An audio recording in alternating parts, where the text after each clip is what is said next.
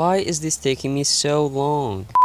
Hey what's up guys it's Cinou here back on video and today we are going to take a look at how to make a really cool MLab text style on Android. So many of you guys did ask me to do this video and without taking any longer let's get started. So we are going to be using Photoshop Touch. If you guys don't have Photoshop Touch on your Android device you can download it from the description below of this video, install it and open it up. Basically create a brand new project and import on it wherever you want then import the text that you guys would like effect into it. So if you guys don't know how to make a text just like those right over here the link is in description below for you on how to make a text just like this one right over here.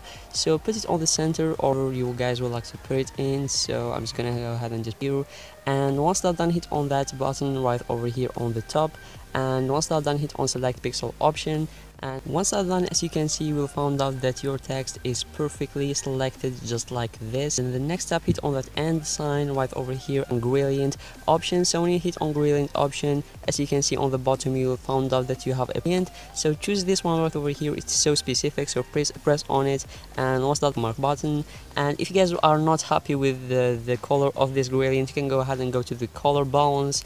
And as you can see you can basically change the color by messing around with the red green and blue uh, options right over here. As you can see you can just mess around with it and you can get so many different colors like orange red and uh, it's all up to you guys. So once that's done guys as you can see you need to hit on that end sign right over here. Hit on fill and stroke and make sure that the color is white and as you can see you can go ahead and just control this right over here so you can make it more bigger. And I think X sounds more uh, just enough. And once you guys done that hit on that plus button hit on duplicate layer and make sure that you are selecting the bottom text layer which is this one right over here. So once that's done hit on that end sign and go ahead to the fill and stroke.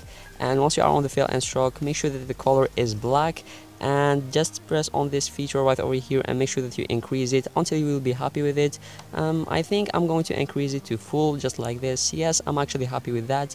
And once you are happy with the results go ahead and hit on the end sign go to fill and stroke. But this time make sure that the color is white just like that.